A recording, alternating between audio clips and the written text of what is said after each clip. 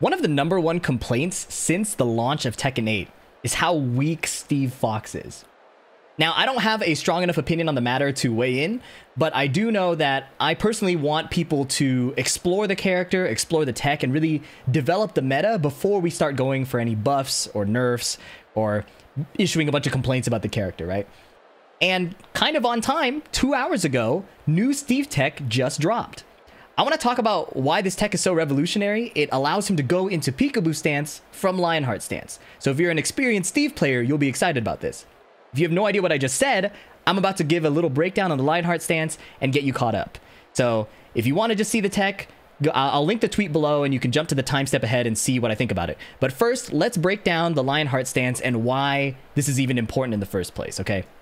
So Steve got a new stance in Tekken 8 called Lionheart, and he's basically forced to enter it from certain moves. Okay, so for example, his stomp move here, he goes into Lionheart. And as you can see, I've set Reina to respond to any attack or block with her Power Crush. And that will become apparent very quickly why that's relevant. Let's check it. Let's take a look at these two moves. Steve's down back 3-2 puts him in Lionheart. And no matter what option he picks, that's not a Lionheart option. No matter what option he picks, Reina's armor will beat it. So just so you can see the options, I've just shown all three here and what it looks like. He has a heat engaging mid, a launching uppercut, and a guard breaking high okay? And from these situations, I'll show the frame data now, he is plus seven. So when he lands these two moves, he's plus seven, and that's not enough time to get off his attacks before Reina can use an armored move. Now, it's not all hopeless. Steve does have some counterplay. He can go into a weave stance and dodge. He can weave right, he can weave left, depending on the timing. Sometimes it'll dodge, sometimes it won't. He can also duck forward. But many Steve players feel that this isn't this doesn't make a lot of sense. I landed a hit, I won the interaction. Why am I guessing again to win the next interaction? Right? That doesn't make a lot of sense. So this situation is more, I wouldn't call it favorable for the defender, but it's not really fun for Steve to not be in a dominating position after winning a mix-up like that or winning a neutral interaction. So these situations give him plus seven. He has some other situations, okay? When he's in heat, I'm to set Reina to block. If his heat smash is blocked, he gets plus eight, which is a little better because now the heat engager is guaranteed.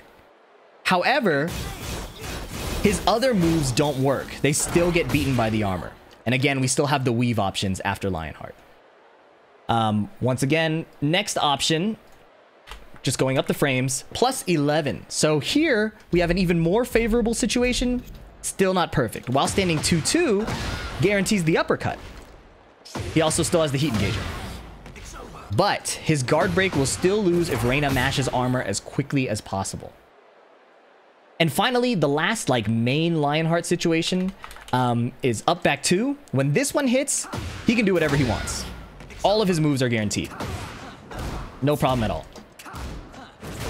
right? So Steve has different situations that put him in Lionheart with different levels of advantage. However, if he wants to beat the Power Crush at the like lower frames, he has to do a stance cancel. This is forward three to down back to duck cancel and then block. That's a lot of inputs just to block, right? Because in Lionheart, he can't block. That's the point. If I just stand there, she'll hit me. So that's the Lionheart stance, brief rundown. Let's look at why this tech is relevant. Unlike the Lionheart stance, Steve can block in peekaboo stance. So if I do a peekaboo jab here and stay in peekaboo, he can still block. And this stance is powerful because this is kind of his mix-up stance, right? He has low pokes, he has big launchers, he has a throw out of here. So this is his powerful mix-up stance that gives him frame advantage and lets him keep pushing his offense. Steve players love this stance. And now, from Lionheart, he can enter this stance. Let's check out this video from Poultry. Again, it will be linked below. This is incredible. This is this is brand new cutting edge tech. Whenever you're transitioning into Steve's Lionheart stance, you can actually cancel the stance into his peekaboo stance by watching his right hand as it drops down to his waist, and as it visibly begins to rise back up, you want to input forward 3 tilde 3 plus 4. So what is this input? He's saying when Steve lowers his right arm and is about to lift it up again, you hit forward 3 tilde 3 plus 4. This is just saying you want to plink it as quickly as possible. So this is a it, I don't know if it's a glitch, but it's a common phenomenon we're seeing in Tekken 8 a lot where hitting an input, uh, hitting one button of two inputs and then plinking the second like simultaneous input gives you a different input altogether that's not normally possible. Devil Jin has a combo extension off of this. Hwoarang has a throw situation off of this. Those are those can be separate videos, but um, it's a common mechanic we're seeing more and more, and people are starting to, I don't want to say abuse it, but leverage it to find new options. So Steve is getting Peekaboo out of Lionheart. Hold forward in three, and then you press four on the very next frame. Steve can access his Peekaboo moves immediately after entering the stance. Now there's seemingly no buffer, so while you can be late with your input, you should avoid being early or you might get something else. Here's a quick showcase of some of the things that you get access. So he's saying there's no buffer, which means you can't do this in advance. In Tekken inputs, I'll just show you really quick. In Tekken inputs, you can usually do things kind of in advance, right?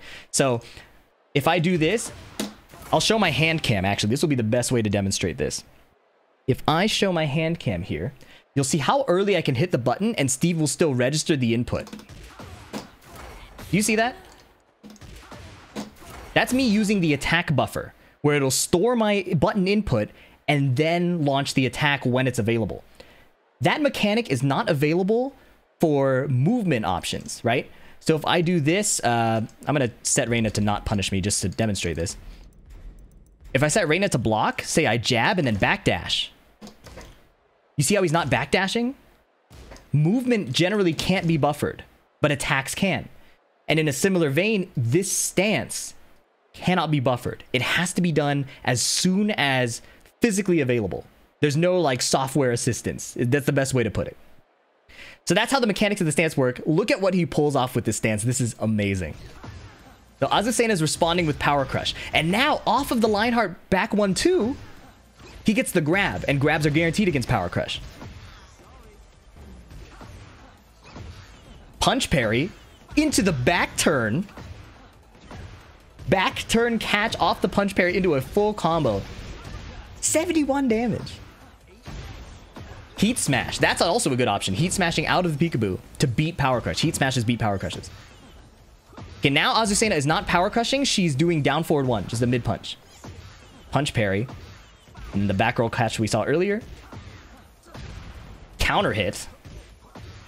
This is really, really cool. This is so precise. That input is so difficult.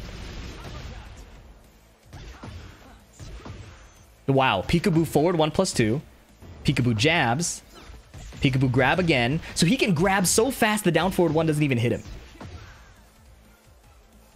This is really cool stuff. So not only is this In brand new opinion, tech, the most powerful options that you get access to are the ability not only is this brand new tech, he's executing it really, really proficiently and demonstrating the practical use cases right away. This is awesome. So he's going to talk about the best options, I think. Wow. In my opinion, the most powerful options that you get access to are the ability to interrupt power crushes from plus 3 and up with Peekaboo Throw, the ability to use Peekaboo Down Forward 2 as your mid mix-up option from your plus 11 situations, which is a more flexible launcher than Lionheart 2, given it doesn't tornado, it's only minus 10, and you can't Oh. parry it because it's an elbow. The ability to use Peekaboo So what he just said, what he just said, uh, he used a lot of words, and I was struggling to keep up too. He was saying normally when you're in Lionheart, your only option is this mid launcher. And this mid launcher isn't that good compared to normal mid launchers because it uses your tornado right away. So that means you don't get a combo extension again. You only get one tornado per combo. But with this new tech, you can do this launcher, and I don't know the combo. I'm not. Gonna, I'm not gonna pretend to know this combo. Like this and then this.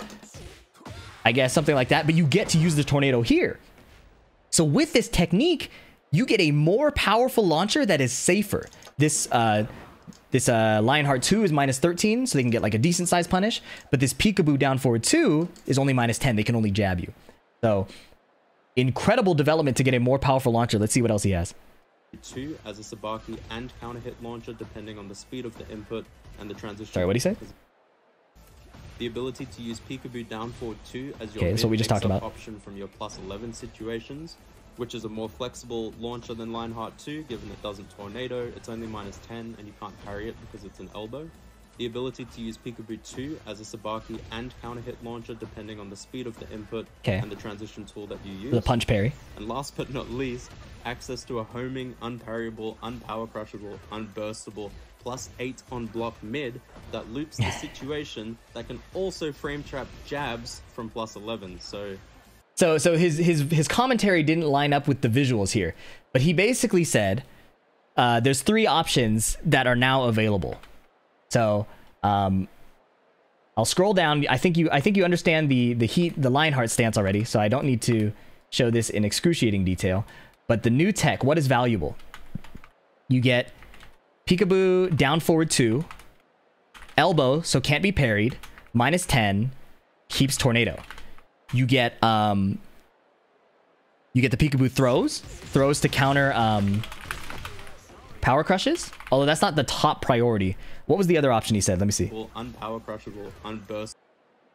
oh he's talking about the heat smash yes so heat smash which is no like can't parry can't burst uh, using the heat burst which is like a enhanced armor um can't step repeat situation, right? Like this is this is really really good. So he can go peekaboo and then do the heat smash out of it. And then what's the last thing he mentioned? Uh, or he was before this. And the most powerful options that you get. Oh, it was the punch parry. That's right. That's right. So it wasn't throws. He talked about punch parry, or Tekken players call it sabaki. Basically, what this is. Uh, let's see if I can show this. I don't know if this will work on Reina here. Um, I'm gonna set her to punish again. This, if this is treated as a punch, I should be able to punch parry that, but that might not be available. Okay, yeah, so it's not available. Um, Steve's move here basically auto parries punches. So if I want to demonstrate that, what I should do is set Reina. This is a quick little mini practice mode guide, I guess. I'm just going to record Reina to jab after she blocks this. Right, so now when she blocks my attack as Steve, she will jab, and check this out. I'm going to do this, and then punch parry. It absorbed her punch and puts her in this animation. So what um, Poultry is saying is that you now have access to this from his Lionheart situations. You get the punch parry, you get a better launcher that can't be parried, and then you have the huge advantage, unparryable, unsteppable, unheat burstable heat smash that re- loops the situation again. Very, very impressive tech. Let me just see if I can even do it I don't even know if I can execute this. I'm going to set Reina to block. I'm going to stomp her, and then I'm going to see if I can grab her using this tech. So I don't even think I can do this. I have to make sure she's not uh, jabbing, but doing power crush instead. So I saved that option here. I have no idea. This is my first time actually trying it, so... What I'm understanding, though, is it's probably really hard. If I want to pull it off, I should probably go for this plus 14 option here. Yeah, this is so tight. So I'm getting that ducking forward. You see how he's ducking forward? We don't want that. We want him to just instantly lean forward like this. So I'll try a few more times. If I don't get it, we'll move on. But this is such a cool... Oh, I don't know if you caught that. I got him to go into the stance, but I didn't get the uh, the move to come out in time. See that? This is what it should look like. And it's like a one frame link. So this is pretty tight. I'm, listen, I played Noctis in Tekken 7. I don't have the execution for this. If you guys think you could do it, let me know. I, I want to see more people using this tech. This is really cool to me. But I don't think I'm going to be able to get this in the span of this video. But I wanted to put it out as quickly as possible, give you guys uh, something to chew on.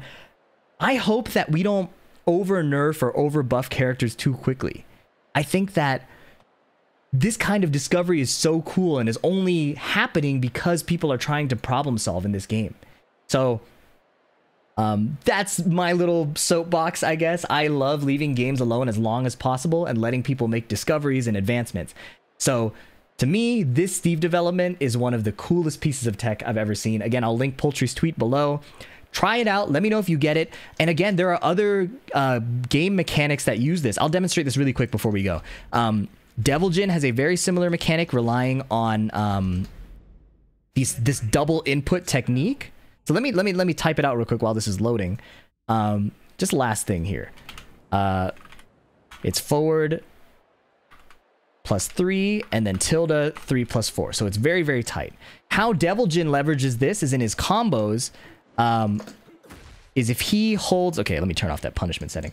Is if Devil Jin has a technique to access instant while standing three. This is his while standing three, and access it, you hold three in advance. I'm going to turn on my hand cam. You hold three in advance, and just do a crouch dash four.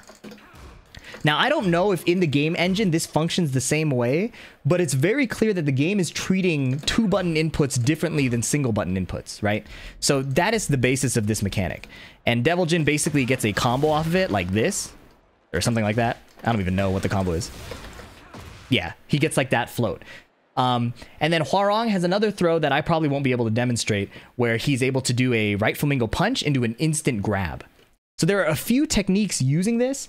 Um, really encourage people to keep exploring. If you stuck around this long, thanks so much. Let me know in the comments if there's other techniques I missed. Uh, let me know if you got any questions about this, and leave a like if you enjoyed this kind of content. I'll catch you in the next video. Thanks for sticking around. I'll see you next time. Peace.